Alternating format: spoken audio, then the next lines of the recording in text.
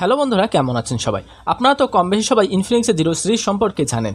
আর ইনফিনিক্সের এই জিরো সিরিজটা হচ্ছে ইনফিনিক্সের একটি হাই এন্ড স্মার্টফোনের সিরিজ এক কথায় বলতে গেলে ইনফিনিক্সের ফ্ল্যাগশিপ স্মার্টফোনের সিরিজ বলা যেতে পারে ইনফিনিক্সের এই জিরো সিরিজটাকে এবং রিসেন্টলি ইনফিনিক্স তাদের প্রথম কনসেপ্ট স্মার্টফোন তাদের এই জিরো সিরিজের আন্ডারেই অ্যানাউন্স করেছিল।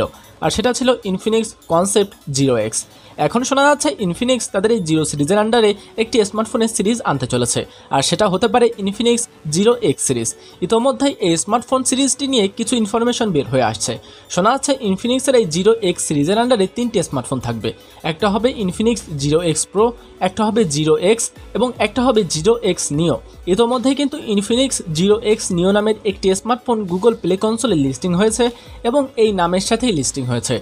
এবং সেখান থেকে দেখা যাচ্ছে এখানে ফুল এইচডি প্লাস ডিসপ্লে তারা ব্যবহার করবে এবং মিডিয়াটেকের হিলিও জি নাইনটি এই প্রসেসরটি থাকতে পারে ইনফিনিক্সের জিরো এক্স নিও স্মার্টফোনটিতে অন্যদিকে অন্য একটি রিপোর্টে দাবি করা হচ্ছে ইনফিনিক্সের জিরো এক্স সিরিজের বাকি দুটো স্মার্টফোন জিরো এক্স এবং জিরো এক্স প্রো এখানেও মিডিয়াটেকের জি সিরিজের প্রসেসর তারা ব্যবহার করতে পারে।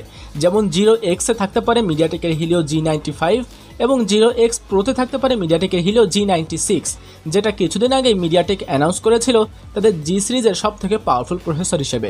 এবং এই প্রসেসরটি হচ্ছে জি সিরিজের প্রথম প্রসেসর যেটা একশো আট মেগাপিক্সেল পর্যন্ত ক্যামেরা সাপোর্ট করতে পারে। তো শোনা যাচ্ছে ইনফিনিক্স খুব দ্রুতই তাদের একটি হাই এন্ড স্মার্টফোনের সিরিজ আনতে চলেছে, আর সেটা আসতে পারে ইনফিনিক্স জিরো এক্স নামে। তো আপনার মতামত কি ইনফিনিক্সের এই জিরো এক্স স্মার্টফোনের সিরিজটিকে নিয়ে? অবশ্যই আমাদের কমেন্টে জানিতে পারেন।